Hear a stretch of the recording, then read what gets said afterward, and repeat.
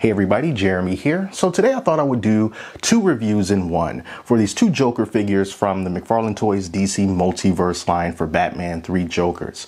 I did a review on the third Joker already, and that one was the Comedian. Uh, that was a GameStop exclusive. If you want to see that video, check out the link up above the card or check the link in the description. It'll take you over to that video and you can check it out.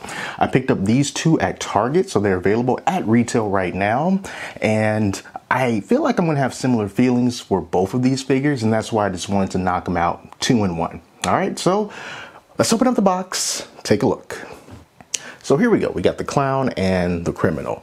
I feel like these two figures are very different. Um, and not just in the way that they look. If you want something that's more posable, something allows you to get a more jokerized feel, then the clown is where you, is what you want to look at. If you like or prefer something that's more statuesque, more stern, more serious, then the criminal is going to be the way to go. And the comedian. See, the thing with the comedian and the criminal is that the way that these uh, figures are designed and the clothing that they wear, they make them kind of restrictive as far as your posability goes. It really feels like there's a certain way that you are supposed to pose them because there's just not a whole lot of motion.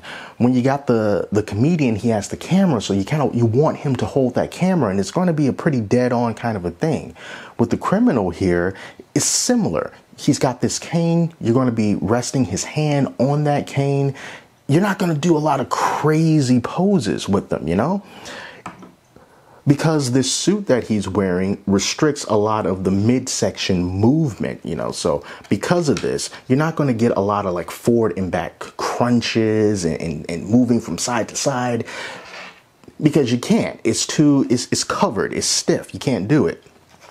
You turn them over on the back, you see that everything is enclosed, you know, nothing is open, so you don't you don't have that kind of a freedom. And as far as the other articulation goes, the arms are separate from the rest of the body. So you got more range when it comes to the arms, you know, as you can see here. There's more that you can do. And you can also, you know, rotate the wrist and then you got the little tilt of the wrist up and down. You got your elbow bend right there, you know, so the arms, the arms are fine. The arms are fine, but you're not going to really be able to do much when it comes to the torso. And then also, let's try to get his arm back down to a point where he doesn't want to break. There we go. Speaking of break, we're going to get to that in a minute. Um, as far as the head motion goes, you know, you can get his head up about that much, look down about that much. It's not a whole lot of head movement there, you know, so you might as well just kind of keep it straight. But I will say, the majority of the detail is in the face, and the face looks fantastic. He doesn't look like any Joker that you would really associate with a Joker. He's more natural looking, you know, you know, despite the green hair and the paler skin, he looks more like a regular dude. He doesn't have the super elongated chin or the exaggerated wide smile and the super arched eyebrows. You know, he's very stern, very normal, I guess. And I really do like that because it just gives another dimension to a Joker character that we traditionally don't see, and that's what McFarlane is good at. So that's where all the detail is. The money maker. Everything else is just kind of plain, you know, just straight up regular purple, a little bit of black on the shoes, a little bit of white here and there, you know, really nothing to write home about. But if we can go back to articulation for a moment, the big problem that I have with this guy is that he was broken right out of the box his leg is broken. And I kind of felt like that was going to happen as I was taking him out. There was a little bit too much daylight in uh, in those leg in the leg joint, and I thought, oh, I don't think he's going to make it. I went to move the leg to check out the articulation, and it just fell off quite easily.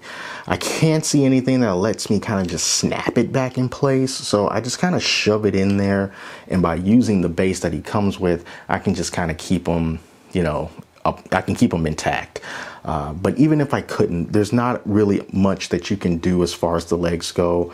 You can't move them this way all that much. You can't, you can kick it forward, you know, just a little bit. It's not even a lot. So you're not going to be doing a lot of leg articulation with this guy anyway, which is why I think that he uh, was really kind of more of an action statue more than anything else, especially compared to some of the other characters in this line, such as the clown. Now the clown is a lot more nimble because this is open. So because this is open, you have a lot more freedom with rotating to the left and right at the waist. You have a lot more freedom with bending. You know, it can't bend back and forth all that much, but you know, you can still get away with it more than you can with uh, with the criminal. And then his arms are also separate from uh, from the abdomen, so you know you can really kind of you, you, can you can play around with it more. You know you can get more jokery with it you know and just kind of do like weird stuff like that if you wanted to. And you know i don't know if it's intentional or not for the clown to just be naturally more you know uh, erratic than than the criminal. But if that's kind of the thing that they were going for, then hey, that's a good job because they nailed it.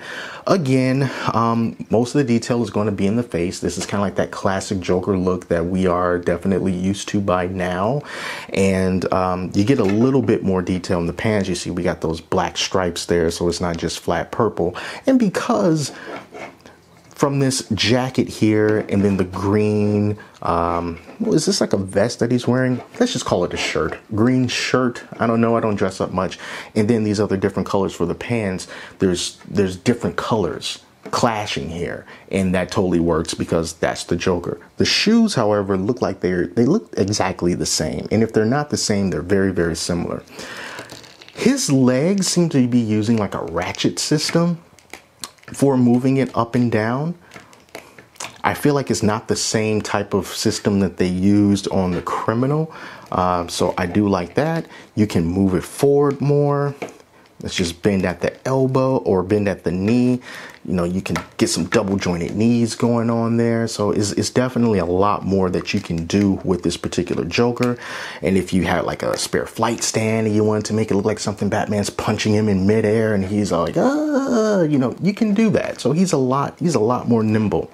Accessories that the uh, clown comes with this fish, I don't know the significance of this fish, but it has a really weird human-like face, so that's a thing. Uh, and then he also has this crowbar. Pretty plain, basic crowbar. We've gotten this before. We got it with the comedian as well, so nothing to write home about there. Those are the only two accessories that you get with them. And then with every McFarlane figure, you know you're going to get a base and you're going to get the little trading card on it as well. So there you go. That's my look at the two uh, Jokers, the comedian and, well, not the comedian, the clown and the criminal from McFarlane Toys. More of an action figure for this guy, more of a statue for this guy. I think that he would make a pretty good DC Direct statue. Uh, McFarlane controls that now, so um, I think this would have been better served as that since you really don't get that much out of it as an action figure. But since they were going to be doing this line anyway, I understand they had to include all the Jokers, but uh, you win some, you lose some. I personally don't mind things that are more statue-esque, but I know people do, so I just definitely want to make you aware of that. And then the other figures in this line, if you want to get them, are Batman, Batgirl, and Red Hood. And um, those are function more like traditional action figures as well. So these two guys are going to go up on the shelf. I'm going to keep my eyes open for some more McFarlane Toys DC Multiverse stuff that's coming out in the future. And before I go, I know I have to say something about side eyes. He does have side eyes the the criminal does but it's so you can't even tell. His pupils are so small you can't really tell that he's looking off to the side. And then the clown does not have side eyes. So you can look straight forward with this guy. Looks good. All right. That's it you guys. Thank you so much for watching. Till next time i'm jeremy. Talk to you later